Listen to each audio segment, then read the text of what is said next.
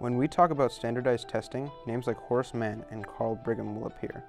These men helped found the idea about standardized tests. Let's talk about Horace Mann. Mann lived in the 1800s. He is credited for bringing the idea of standardized tests into America. However, Mann also believed in phrenology, a study that the shape of one's skull directly correlates to the way they behave and learn. Researchers claimed he wielded psychological laws in his many reform efforts, including phrenology, phrenologically based racism, sexism, and classism that permeated his writings. Carl Brigham was a creator of the SAT, according to NEA.org. Brigham thought that African Americans were on the low end of the racial, ethnic, and or cultural spectrum.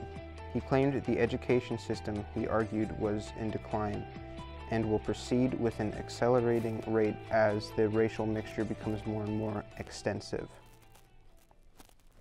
Okay, so the history of standardized tests is wrapped in racist and other outdated beliefs, but what about now?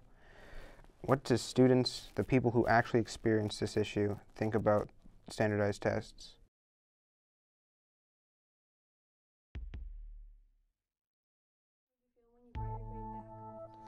Uh, kind of makes me feel down on myself because I feel like it's a big test. It's a lot of studying, and sometimes you don't get the best result that you want.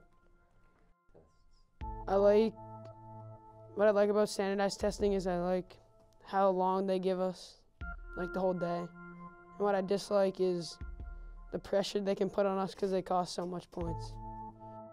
Uh, what I dislike is just that like it's every year, and so I just feel like you could do it like every other year. Or it's just like sometimes it just feels like a waste of time. I don't like anything.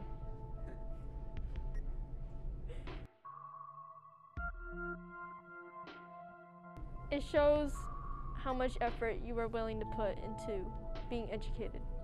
I don't think it shows anything. I think it just shows how much one person really wants to put into a test and, and how much some person really cares about their grades.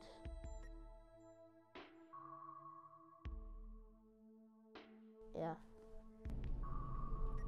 No, because yes, no, both.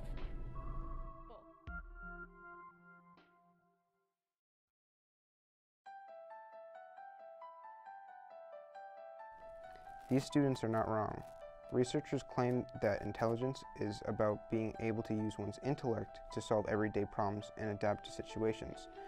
All standardized tests uh, show is how much a student studied for that test. This is a big reason that big tests like the SAT and the ACT are no longer being required or measured when sub submitting college applications. But some argue that standardized tests give teachers a measurement on how good or bad their teaching is. But if the test isn't a good way to measure this, that means that these teachers are getting the wrong information about what they are doing right and wrong. So should we be measuring the futures of our students with tests created by people with racist radical beliefs? There is little proof that a standardized test is an accurate tool that should be, even be in use. Let's slow down and decide if the standardized tests is the right way we should be measuring academics.